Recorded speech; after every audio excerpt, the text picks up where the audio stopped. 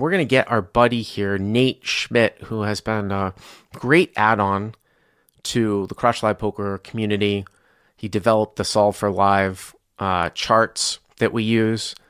That, um, again, if you're CLP sub, we can tell you how to get those charts preloaded into Preflop Plus, which is that training app. And we can give you a code to get a discount. And if you're an existing subscriber and you want to um, sign up for the yearly, we can actually give you the app for free. You don't have to pay the first month and get the thing uh, loaded in there.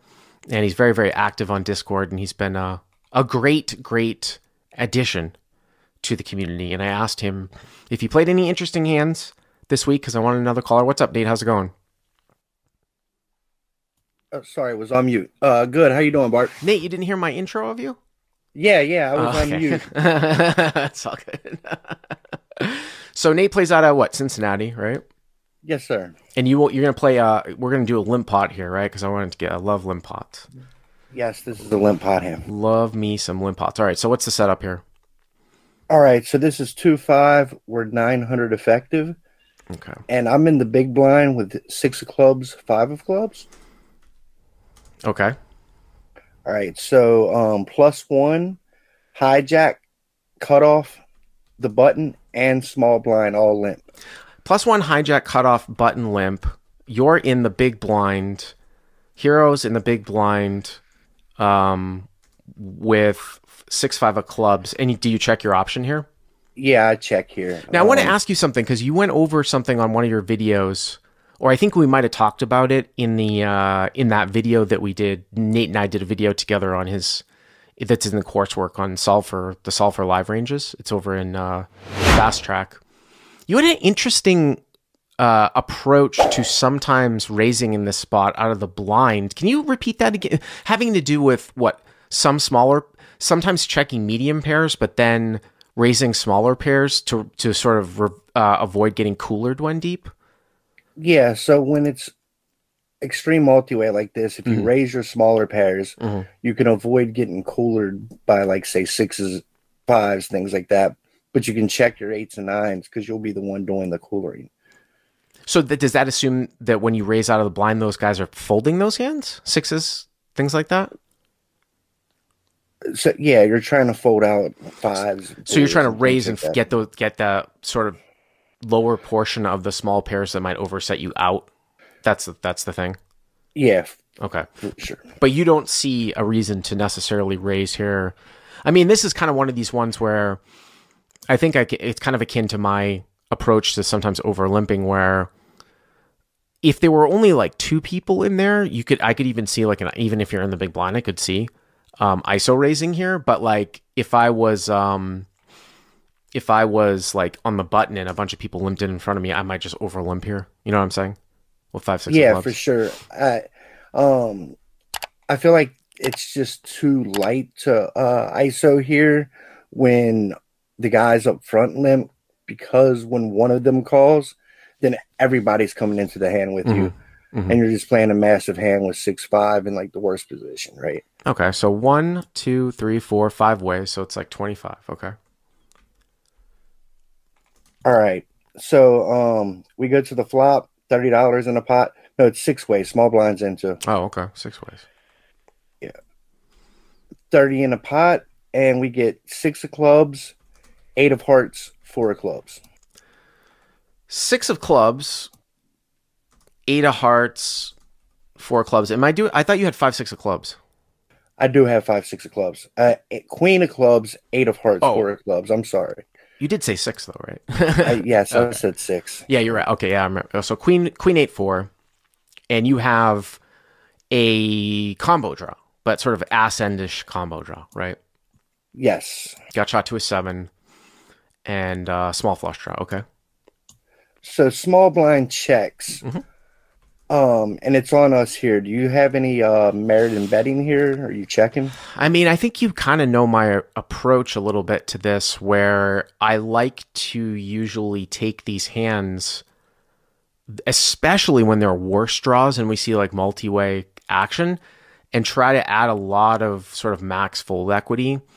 And this is, you know, CLP term and content uh, reference, attacking limp pots. It's kind. of, It's a little bit similar to attacking the field bettor in a raise pot after the pre-flop raise or check. So usually the way that you're going to get the most fold equity here is by check raising. Because uh, if you just lead out, a lot of the hands you want to fold aren't going to fold. So, you know, if something happens where, God forbid, if someone has a higher flush draw than you and they check it for some reason, then somebody bets and you raise, they're going to, a lot of times you're going to clean it up. I mean, you want to get this hand heads up, and I feel like you have a fair amount of fold equity. The only thing is, is that it's not so top pair dynamic. And that's another term that I use top pair dynamic, meaning like top pair's not going to change all that much, as opposed to if it was like 984. You know what I mean? Or something, or like 8 4 deuce. How about 8 4? 8 4 deuce would be a double gutter, but that would be a perfect example. 8 4 deuce, two clubs, right? Top pair dynamic, meaning like an 8. You might get a bet fold from an 8 on the flop, and it's just not going to be a strong hand by the river usually. Whereas here, someone with queen jack might sort of just hold on. But I think I'm checking here with the intention of doing a lot of check raising depending on what happens in front of me. Okay, yeah, that makes sense. So I check. It checks to the cutoff who bets 15. Okay, so here we go. So let's count the people that have checked. So plus one hijack have checked. And obviously the small blind is checked. And the small blind doesn't necessarily I mean, it's not like a single raise pot where they're automatically checking to the pre-flop raiser. So we can we can gain some info from that. But two people have checked. So now it's the cutoff and the button that haven't acted, and the cutoff bets. How much is the cutoff bet? Fifteen dollars. Okay, so kind of well half, but kind of small. Okay, right. And the button calls. Mm-hmm. Small blind folds, and it's back to us. I mean, once you get a bet and a call, this is kind of like a pre-flop overlay. Definitely, if the small blind called, I would even do this more often. But I mean, yeah, I mean, I want to check raise here. I do want to check raise here a lot. I, I think you've got a boatload of equity. The pot is like 60. If you went up to like 75 or 80, you actually only need to get everybody to fold right now, like 60% of the time for it to even be profitable. But then, of course, you get this whole future equity thing. And again, people don't like to play like they get scared. I feel like in a lot of limp pots where they don't want to play like big hands with one pair. You can have anything here too, right? You got a free yeah. look. That's why it's so powerful. Because when you get a free look and you're entirely random, you can have any of the two pair. It's not like you V pipped a hand where, you know, it's nine deuce three and you call the raise and the cutoff. You know, you're not going to have two pair on nine deuce three, but here you can have anything. So I do like a check raise here quite a bit. Right. And I guess I just missed the check raise here. Um, I call and then the um hijack everyone else folds. So did you think about check raising? I did think about check raising and um there's just not a ton of money to put a lot of risk in here, but it, it definitely makes sense to check raise here. Um, I actually checked with the intent of possibly check raising um, so instead of leading out into the field. Right. Uh, so everything you said on a flop, I 100. And, and by the way, like, and when I say check with the intention of check raising, it's not always a check raise because something could happen in front of you that might make you fold too. Like if someone went, if it went bet raise, you might just fold, right? Right. yeah. Right. right. Yeah. So it looks like the pot um, pot 75, right? Yeah, and we we head to the turn mm-hmm. and we get the seven of hearts. Wow. So again, it's queen eight four Nate has five, six of clubs. He checked in the big blind multi way, just check calls, and now he hits gin. So he's got the nuts here. Backdoor hearts come in, and obviously this is a very dynamic board where there's only certain cards that aren't. That, I mean, there's going to be a lot of nut changing cards here on the river, whether it's board pairs or making higher straights or you know flushing types of hands. I mean, you'd rather not see a club. But this is an interesting one here because like you're going to be first to act and you don't want it to get checked through and the other thing that I will say, and why I want to lead here a lot, is because another thing about positional awareness and hand reading, if you take a look of, at the opponent on the button, let's say the button has some sort of draw, whether it's clubs or maybe he had Jack 10, which is like a gut shot, which is now turns like a double gutter now too, right? Uh, is that right? Yeah. No, oh, no, right. I guess it's still. No, it's still a gutter. No, you just got a pair. Jack 10 yeah, queen eight four seven. When he calls and you overcall, put it this way, like because you overcalled the flop, the button, if it gets checked to them on the turn, is going to be more likely to check and take a card when they have a draw, as opposed to if it, if it were heads up, if you follow me. So, because you overcalled, like if you or I were on the button, Nate, and we had called with some sort of light draw, you know, we would probably check through a lot here on the turn because the big blind overcalled, right? So, Right. you know, you got to get through two people here, and the big blind's got to have something here to overcall. So, I don't want that to happen. So that's why I would probably do a lot of leading here. Right. Yeah. And uh, I lead 60 into 75 here. Okay. So what do you think about the size? I think it's fine. I mean, you could. I mean, you could just go full pot too, but okay. Yeah, I, Yeah. I actually do think I can go full Yeah, pot here and yeah. a little small. Um, cut off tank calls Okay. and the but, uh, button folds. All right. So the button's out. The button is out. And now we are at 195, right? Yep, 195 heading into the river. So what do you think the cutoff has here? What's his range? It's a I- limp, limp pot, right? yes, I think the cutoff has um, a lot of Queen X here. Uh, he could have Queen Eight, even possibly, maybe. Uh, if he has sets, it's only like fours. He could maybe turn sets of sevens, but I think he has a lot of Queen X, um, and probably like offsuit Broadway Queen X, to be honest. I mean, the other thing too is like I think still people are going to be raising a lot with pocket fours here um, to your lead on this sort of Yes. wet board because a lot of people aren't going to just. You have to specifically have five six of clubs specifically for this card to mean anything. Like even if I'm there with pocket fours, unless it was a really good player leading, if somebody leads turn and let's say I had pocket fours, I'm not giving them five six because it's only one combo and they would have to check overcall the flop with it. There has to be some frequency of a check raise. There's just so many other hands that they can have, right? Right. So and maybe they obviously have clubs too. I'm sorry. Yeah, yeah. I'm just saying from the perspective of this guy having, you know, four four. I think four four does raise. Maybe some, you know, queens up types of hands just call. But okay, so 195 to the river. Yes, 195 to the river, and we get the 10 of spades. So ten of spades comes in, and that slightly changes the nuts in the sense of um, there's two higher straights out there now in the form of Jack nine and six nine. But of course, the only way that he can have those hands is if he has clubs, or I sup- I can't give him a heart. It- it- it's not going to be six nine of hearts, that's for sure, because he bet on the flop because it's queen of clubs, eight of hearts, four of clubs, and six nine. I mean, excuse me, jack nine of hearts. I mean, maybe once in a while, but really, it looks like jack nine of clubs is really the only thing that's really uh, possible for you to ever kind of lose to here in this spot. Right. And um, with us having the six of clubs, I uh, completely eliminate six nine here. right, we can't have six nine of clubs, right? hmm Right. So um, I bet 120 into 195 here. So Hero bets 120. And again, Hero started with 900 and he's put in, you know, he's got like 700 ba- back, right? Okay. Yeah. Yeah. And cutoff raises to 325. Now, this is very, very interesting. So, we just went over what you lose to. Pretty much only Jack Nine of Clubs, right? That's it. Correct. So you go 120 and you've got 700 back, 120, you know, like 195. So the pot's like 320 and then he raises to 325, so it's 625 and it's 120, I mean, excuse me, it's 220 for you to call 625, but then you've got another 700 back.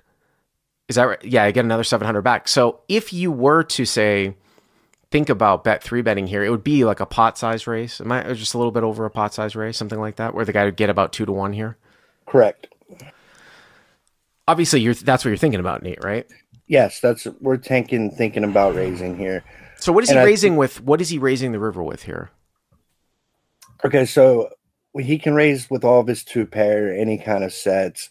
Obviously, he has the one combo Jack Nine, and we have to decide in this spot how much of that calls our raise, our three bet. And I think it boils down to how much two pair we think he calls with. What like like you think he's raising queen ten at the end? You mean? I I think he would raise queen ten here. Wow. Hmm.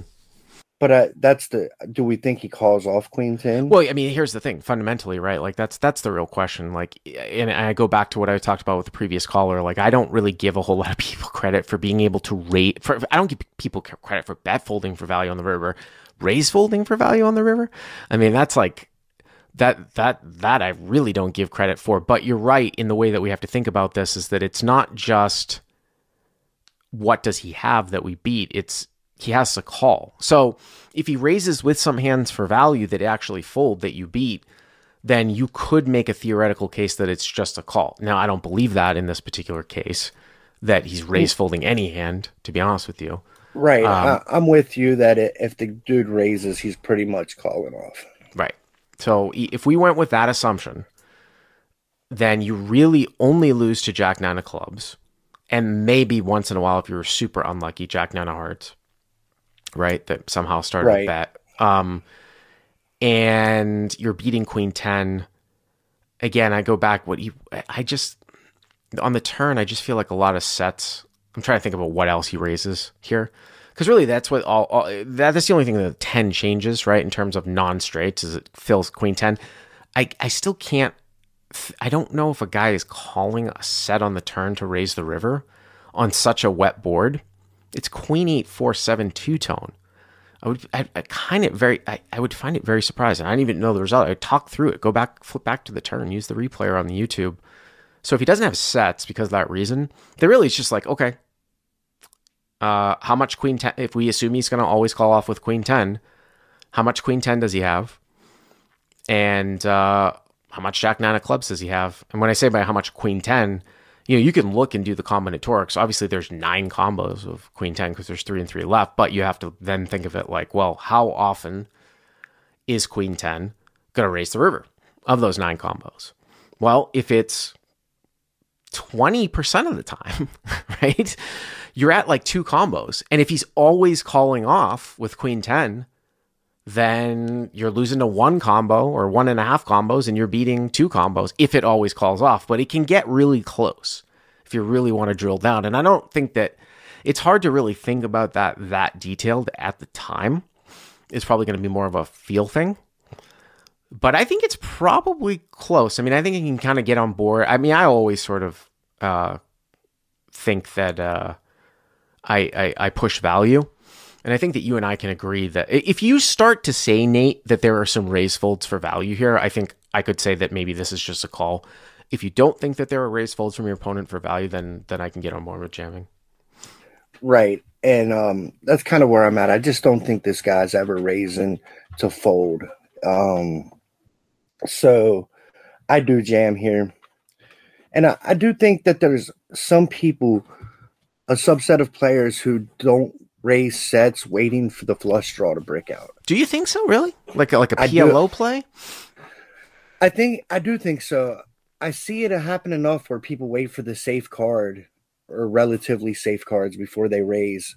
Which I mean, that obviously is going to change the equation. Like if you think he has sets, then it's more of a jam, right? I just thought right. that like sets would raise turn a lot. No, that that makes complete sense. Mm. I I only gave him pieces of sets like if he has three combos of four four, he raises 2 mm-hmm. calls one.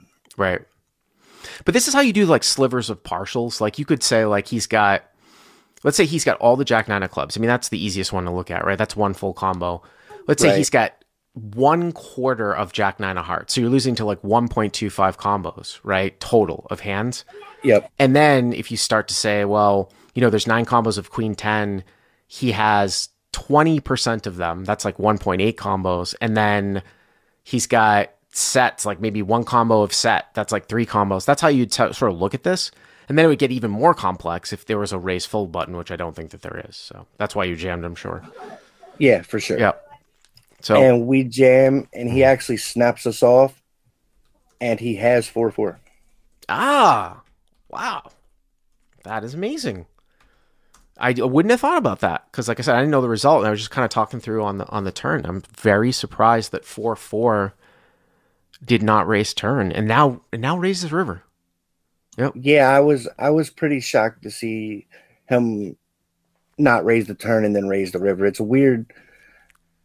It's just a yeah. weird way to look at hands. I think in a way. It is. It definitely is. I mean, you will see this sometimes too with like PLO, but then you're not going to see somebody raise at the river when three combo straights come out. Um, or sometimes you'll see this double board when you only have one side, like with top set. I've been playing a lot of double board PLO, but yeah, that's uh, that's interesting. I, I think one of the most important things, though, I think that we can take away from this hand is what I keep harping on because I do see a lot of people in the live chat, uh, not just here but just in general, say if we bet or if we raise, what worse is going to call? When somebody takes the action of raising the river, they're almost never folding if it's value. That's what you can take away from this. And that's really the key to figuring out whether or not this is a shove or not, right? Right, 100%. So, all right, Nate. Awesome call. Right. Thank you very Thank much. Thank you, Bart. Yep. All right.